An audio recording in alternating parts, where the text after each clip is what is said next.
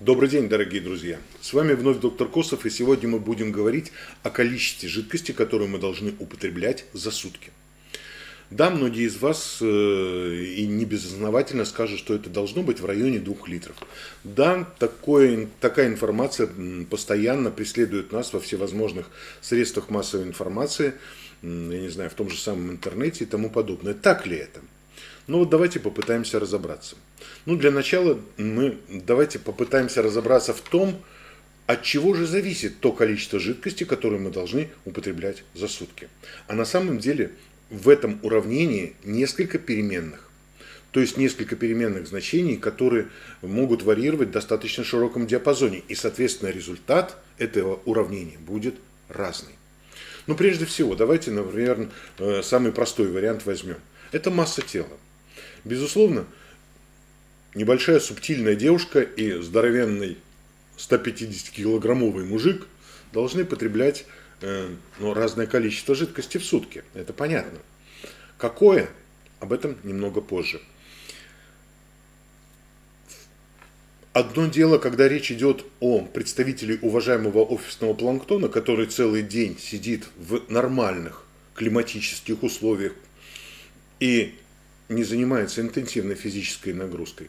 А другое дело представители не менее уважаемой профессии грузчика в порту, который с утра до вечера занимается тяжелой физической нагрузкой, иногда под палящим солнцем, иногда во время ну, каких-то других климатических, э, в каких-то других климатических зонах и так далее, и так далее. То есть э, это тоже разные позиции. Одно дело, когда человеку 20 лет, и другое дело, когда ему 70. Это тоже разное ситуация. Как видите, я назвал несколько всего лишь этих переменных в уравнении, и уже, ну, вы уже начали ощущать, что разница достаточно серьезная. Итак, какое же количество действительно мы должны употреблять? Э, более продвинутые пользователи интернета наверняка видели или слышали о такой простой формуле, э, где говорится о том, что э, для того, чтобы рассчитать правильное количество жидкости, выпиваемое за сутки, необходимо всего лишь, э, скажем, 30 мл умножить на ваш вес. И получится то количество, которое вы должны употреблять за сутки. Так это и не совсем так. Дело в том, что по европейским нормативам это 25-30 мл, а по, например, американским это 30-35 мл. Да? То есть уже разница. Да? И не потому, что мы живем на разных континентах, представление об этом вопросе просто немного разное. Но если бы, э, ну, как бы это было так просто, это было бы, наверное, слишком просто. В этом случае учитывается всего лишь одна переменная. Это масса тела. Да, вы скажете, что это достаточно важная переменная, но поверьте, она далеко не единственная, еще раз повторюсь, и э, надо учитывать и массу других переменных. Итак, как же мы будем все-таки считать? Вот для нас с вами, да, живущих вот на этом континенте и э, ведущих, ну, увы, достаточно разный образ жизни.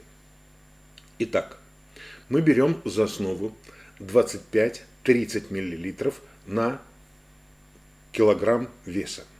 Но мы будем добавлять по 5 мл к, этой, к этому количеству в зависимости от ответа на следующие вопросы. Первый вопрос. Моя масса тела нормальная или избыточная? Если ответ избыточная, то мы добавляем 5 мл к этим нашим 25-30 мл. Ну, например, это будет 30 мл. Да? Дальше. Мы ведем активный образ жизни, то есть у нас есть интенсивная физическая нагрузка, или ее нет. Если она есть, мы добавляем еще 5 мл к этому значению. Дальше. Если мы живем, понимаете, если первый вариант где-нибудь, я не знаю, в Анадыре, а другой в Арабских Эмиратах, безусловно, будет потребление жидкости разное. Да? Поэтому климат здесь тоже важен. Если мы оцениваем среду обитания как сухую и жаркую, то добавляем еще 5 мл. Если нет, это средняя полоса, там той же самой, предположим, России, это э, весенний-осенний период, когда не холодно, не жарко, в этом случае мы ничего не добавляем к этому значению. Мы в данной формуле учли всего лишь три основных дополнительных позиций, так скажем, да, к тому, что мы обычно э, должны учитывать. Но их, этих переменных, еще целая куча на самом деле. Учесть все позиции, такие как интенсивность работы выделительной системы, активность эндокринной системы, особенности пищеварения и так далее, и так далее, сахарный баланс, да, то есть как бы, да, особенности вообще гомеостаза в организме данного пациента как такового может оценить только врач, поэтому сколько пить жидкости за сутки, да, этот вопрос вы должны параллельно с каким-то, может быть, другим посещением вашего врача задать вашему лечащему врачу, который знает вас хорошо, если он знает вас хорошо, конечно. Какие жидкости мы должны употреблять? И э, надо ли пить, например, те же самые 2,5 литра просто чистой воды? Нет, в данном случае, когда мы говорим о подсчете таким способом, мы говорим о суммарном количестве жидкости, потребляемом за сутки.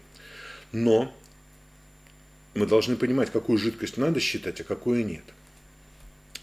Значит, ну, самый идеальный, конечно, вариант, когда речь идет просто о чистой воде. О чистой питьевой воде, но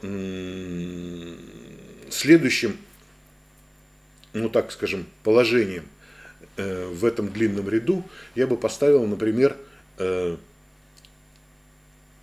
питьевую минеральную воду или столовую минеральную воду. То есть это минеральная вода с низким уровнем минерализации, которую можно пить без особых ограничений по количеству, при этом ну, как бы потреблять еще какие-то дополнительные минеральные компоненты, которые полезны для нашего организма. Следующая позиция – это уже лечебная минеральная вода. То есть, как правило, уровень минерализации в таких водичках достаточно высокий, и вот часто им в большом количестве такую воду самостоятельно использовать не стоит. То есть это те водички, уровень минерализации которых уже приближается к 10 граммам на литр. Да, то есть это достаточно высокая концентрация растворенных компонентов. И такую воду надо уже пить действительно по назначению э, лечащего врача в каких-то определенных патологических ситуациях. Э, как относиться к простому чаю? Если это обычный неконцентрированный чай, то никаких проблем э, мы его можем э, сравнять с обычной чистой водой, по большому счету. Ну, конечно, если там ложка не стоит от концентрации. Вот. Эм, такая же ситуация с кофе.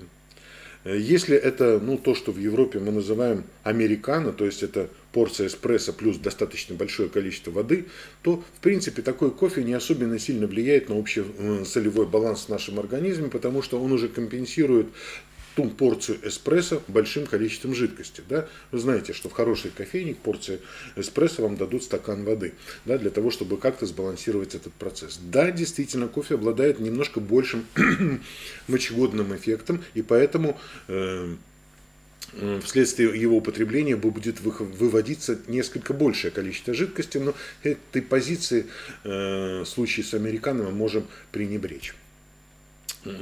Вместе с тем, если мы употребляем, э, ну, скажем, несколько порций эспрессо за сутки, то, безусловно, э, это необходимо компенсировать достаточным количеством жидкости дополнительно. Что касается соков. Соки относятся к категории нейтральных водных нагрузок. Что в данном случае подразумевается? Дело в том, что растворенные в соке вещества находятся в такой концентрации, которые уравнивают получение жидкости и э, ту негативную, по, по сути дела, сторону, которую привносят растворенные в ней компоненты. Я не имею в виду там, витамины и тому подобное, то есть их положительную роль, а вообще растворенные м, вещества как таковые, то есть асоматическое и онкотическое давление, то есть количество растворенных компонентов. Да? Полезно или не полезно, это уже другой вопрос. Мы просто говорим о суммарном количестве. Так вот, если речь идет о стопроцентном выжатом свежевыжатом соке, то это ноль. Мы как бы и потребляем жидкость, но считайте, что мы ее практически не потребляем. Сколько бы мы его не выпили, напиться мы им не сможем, по большому счету.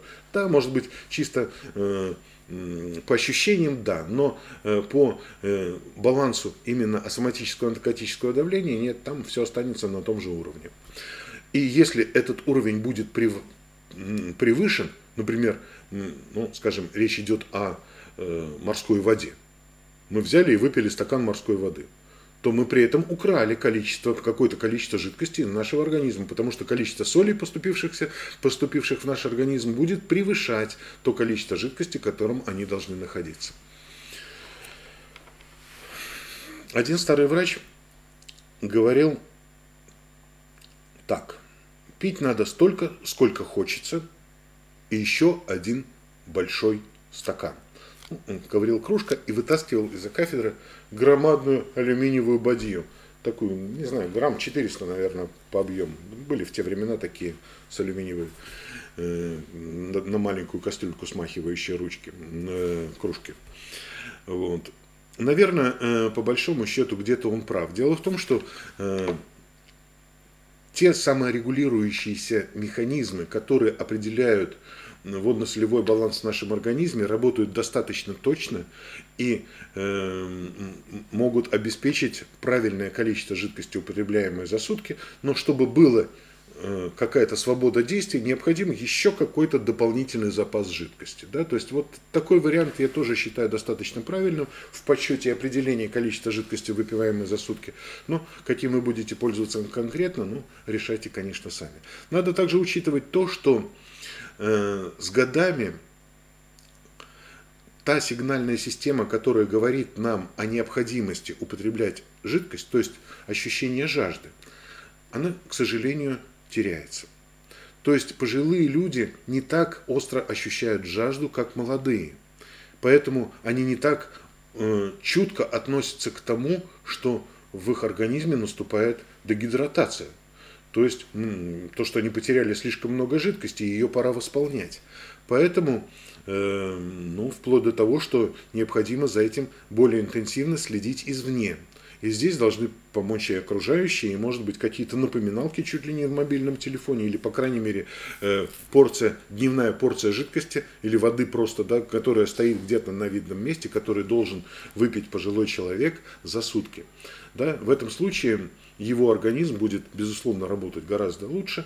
Эм, как я уже говорил, всего лишь 2%, если мы теряем от общего количества жидкости, это уже критическая, э, критический уровень дегидратации. Да? То есть это э, критический уровень потери жидкости, который необходимо обязательно вернуть. Да? И здесь надо к этому достаточно серьезно отнестись, потому что все э, органы и системы у нас зависят от количества жидкости. Я имею в виду систему кровообращения, да, то есть как бы, да, и система выделительная, безусловно, и нервная система. В конце концов, даже суставы, их количество смазки, которые там участвуют в этом процессе, также зависит от количества жидкости, которое у нас есть в организме. Да? Вот. Поэтому постарайтесь следить за этим вопросом, это, наверное, самый простой, с одной стороны, самый дешевый э, способ поддерживать свой организм в нормальном состоянии. Ну, пару, может быть, э, слов о мифах вокруг употребления воды. Ну, очень часто бывает так, что и не мифы в том числе, да, значит, э, где-нибудь в каких-нибудь модных бьюти-журналах говорят там молодым женщинам о том, что надо пить достаточное количество воды, от этого зависит тургор кожи э, и, и тому подобное. Да, в какой-то степени да, но поверьте, совершенно не критически. Да? Недавние исследования подтвердили, что э, тот уровень гомеостаза, то есть тот уровень саморегуляции, э, который есть в нашем организме, не позволяет чересчур высыхать кожи или э, изменять ее естественный тургор под действием только количества жидкости, которую мы употребляем. Это в большой степени зависит от сухости воздуха, да, да, от возраста, да, от многих других факторов, но не от количества э, того баланса, который мы потребляем или не потребляем. Также стоит сказать, наверное, и о другой стороне этого вопроса. Я имею в виду в данном случае э, избыточное количество жидкости. Есть целый ряд людей, отличающихся патологическим максимализмом, которые думают, что вот чем больше, тем оно лучше. Да, то есть и которые употребляют там, я не знаю, там, по 4, по 5 литров воды в сутки при нормальных условиях эксплуатации организма. Это тоже крайне плохо, потому что избыточное количество жидкости вымывает натрий из нашего организма. А э, натрий нам необходим для того, чтобы наш организм функционировал правильно, да, и его нервная система, и сердечно-сосудистая, и так далее, и так далее, и так далее. Вплоть до летальных ситуациях э, на каких-то соревнованиях, когда накануне люди выпивали слишком много жидкости перед, скажем, какой-то марафон к дистанции, да, и за э, гипоконатриемии э, просто-напросто отправлялись, простите, в мир иной. Поэтому любые крайности не полезны, а то, как правильно посчитать нормальное количество жидкости, я вам ну, постарался в той или иной степени сегодня рассказать. Итак, с вами был вновь доктор Косов. Задавайте вопросы, если таковые возникают там, внизу. Вот. Подписывайтесь на канал, если кто-то еще не подписался. А нас еще ждут тысячи и тысячи, я надеюсь, вопросов, которые будут касаться вашего здоровья и которые мы постараемся развернуть вместе с вами и донести до вашего понятия и сознания. Всего вам доброго, не болейте в это непростое сегодняшнее время. До свидания.